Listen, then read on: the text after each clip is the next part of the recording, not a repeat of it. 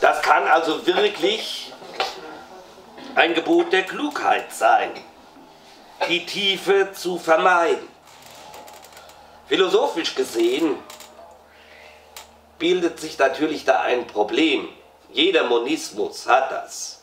Wenn alles eins ist und alles aus einem Ursprung kommt und alles in den einen Ursprung auch wieder zurückfließt, dann entsteht leicht das Problem der Diffusität. Alles ist irgendwie unterscheid nicht unterscheidbar. Und dieser Gefahr möchte Emerson begegnen, indem er im Gefolge der Aufklärung von der orientierenden und sein- und sinnstiftenden Kraft der Vernunft spricht. Man hat hier genau auf den Klang zu achten, der seinen Gedanken von, von denen etwa Rousseaus unterscheidet. Wenn Emerson über Natur spricht, und er hat wirklich hochbemerkenswerte Essays gelesen, äh, geschrieben, die durchaus sehr gut zu lesen sind. Also es liest sich auch leicht und man lernt viel. Also wenn man das liest über die Natur vor allen Dingen, gerät man schwerlich in, den, in die Gefahr, die Voltaire bei Rousseau ausmachte, nämlich man verfalle wieder zurück in die Lust der Vierfüßigkeit. Emerson war von Hause aus Protestant. Die Unitaristen verstanden sich als Protestanten. Und seine protestantische Wurzel lässt Emerson ein Leben konzipieren, in dem er sehr wohl natürlich im Einklang mit der Schöpfung sein will und große Ansprüche und Lustbarkeiten meidet. Überhaupt wenn Sie hoffen, bei diesem Abend auf die Legitimation von Lustbarkeiten zu kommen, müssen Sie etliche Häuser weitergehen. Das wird es hier nicht geben. Es ist eine sehr strenge und eine sehr, sehr, ja doch, ernsthafte Geschichte, um die es hier geht. Doch neben der Natur als Quelle von göttlicher Offenbarung sind es Menschen Vernunft, und insbesondere seine Kreativität Belege dafür, dass das Göttliche in den Menschen selbst hineinverlegt ist. Das eben ist dieser pantheistische Ansatz. Im Menschen selber ist die Gottheit als Anlage vor allen Dingen der Vernunft und der Kreativität. Und Emerson denkt hier durchaus nicht aus dem Blauen heraus. Das ist kein Denker, der irgendwann mal an in den Sonnenuntergang schaute und sich dann ein paar hübsche Gedanken machte. Nein, sowohl aus Lebenserfahrung wie aus Universitäten weiß er zu schöpfen. Der Tod seiner ersten Frau, die mit 19 bereits starb, beeindruckte ihn tief.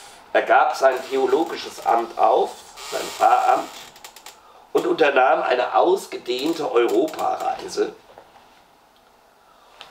auf der er mit den Philosophien Kants und Hegels, aber auch Schellings und den Schlegels in Berührung kam.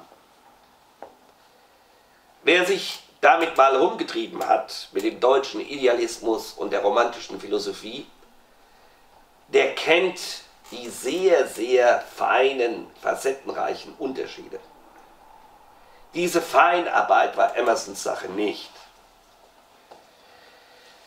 Er sieht vor allen Dingen das verbindende Element dieser verschiedenen Philosophien in dem, was er nannte, die Transzendentialität im Gefolge Kants einerseits und das dynamisch-historische Moment andererseits und beide machte er sich zu eigen. Ganz kurz zum ersten, dann zum zweiten. Transzendental nennt Kant jene Bestimmungen des Geistes, mit denen ich immer schon ausgestattet bin. Zum Beispiel Kategorien von Raum und Zeit die erlerne ich nicht durch die sinnliche Erfahrung, die habe ich schon, wenn ich auf die Welt komme. Ich komme also durchaus nicht plank auf die Welt, nicht als weißes Stück Papier, sondern die Grundformen des Verstehens habe ich schon. Und genau das nennt man transzendental.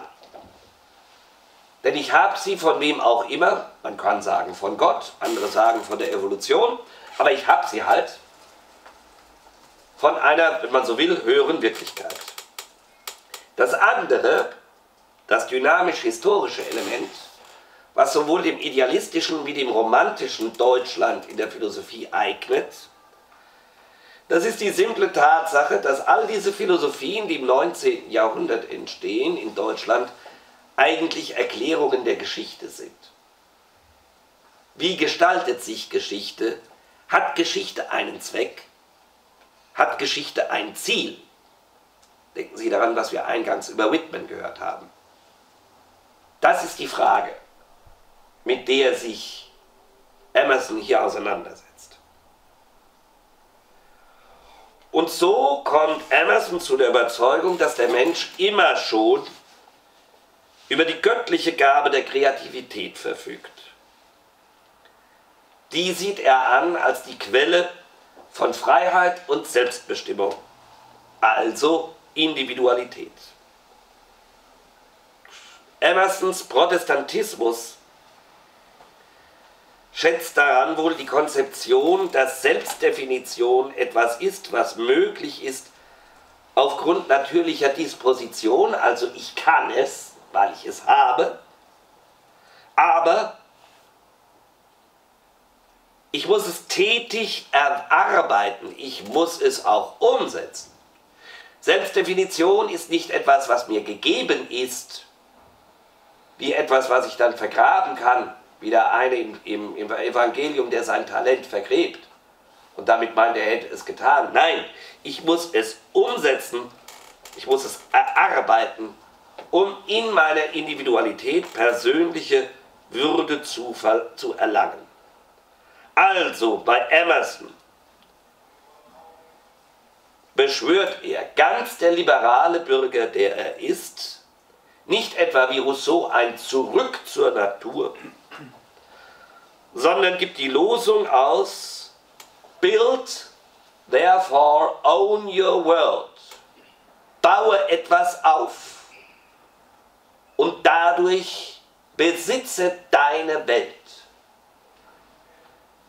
Es geht ihm also um die kreative Inbesitznahme der Natur durch die Voraussetzungen von deren transzendentaler, also übernatürlicher Qualität er überzeugt ist.